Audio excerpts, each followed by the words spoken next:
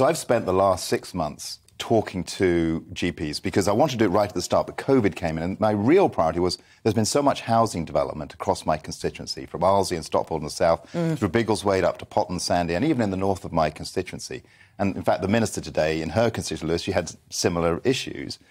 Uh, but it's also because of coming out of COVID. And we've had so much in our mailbags, all MPs from uh, constituents said, I just can't get through on the phone. It's really, very debilitating to be asked to do the same phone, phone, phone, can't get through, try again tomorrow at 8 o'clock. So, talking to GPs, there were some clear issues that came out. The choice of phone system, something as simple as that, could make a big difference about whether people feel comfortable with the service they, can, they get. The way in which a practice manager, that human contact, mm. often we had people who couldn't get through, they came to the practice, they couldn't be let in. The way that situation was handled was really rather important.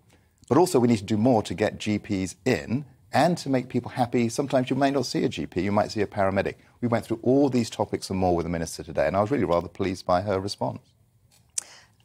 Some people would say, your critics would say, that the shortage of GPs, mm. which uh, was one of your points, has happened under your watch. Um, Jeremy Hunt, when he was health secretary, has been in the news lately for other reasons. Mm. He pledged to increase the number of GPs by, you know, a number of thousand, but the number of GPs has actually fallen. It has, and more worrying, you know, in my constituency, uh, and actually the number of GPs has got about two percent.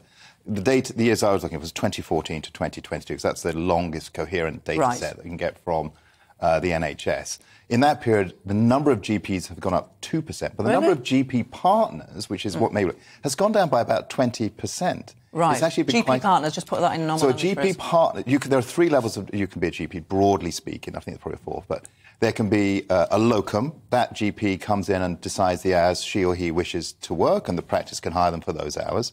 There's then a GP who is salaried, and he or she essentially works, and I'll say nine to five. I'm sure they work longer hours than that, but that is their duty, is to do those hours. And then a GP partner essentially is where they run the business of being a GP. So they might be responsible in addition for seeing patients, for making sure that the, the payroll is sorted out at the end of the month, for HR issues, for sorting out contracts for premises, etc. It's like running your own business. And that's the bit which I was saying to the minister today. Those GP partners, they're not getting that additional remuneration in fact, you're better off not doing those extra hours and extra work as a partner, or even doing all hours of the week. You get paid more per hour if you pick and choose your hours as a locum. That's the wrong way around. And the government needs to look at the reward systems for GPs so that they can reinforce the model they want. If the government wants to say, we like partner GPs, which I think is great. I love entrepreneurs. I love people who have that ex- want to go that extra yard. If they want to do that, they've got to look at the remuneration systems. The minister made the point it's not all in her control, and she's right. There's some legacy issues, but it does need attention. So lots of people will be pleased that you are campaigning yes. o- on this. Um, for those struggling at the moment to get a GP yeah. appointment, or one that's face to face, yes. How much longer will it be going for? When, when are you going to get your way? When's it going to be improved? Well, I think some of it is sort of improving because we've come out of that COVID period, which was a tremendous mm. pinch point, But lots of people had anxieties, and we've discovered lots of things that where people hadn't come forward and they were at later stages of diagnoses. So even from my own postbag, I can see that it's getting a little bit better.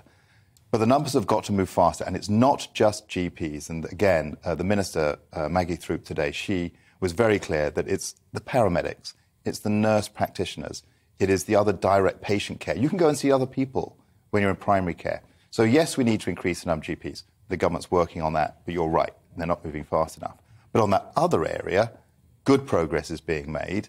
We've got to learn that sometimes the best answer when you make the call is not to see your GP, it might be to see another qualified medical professional.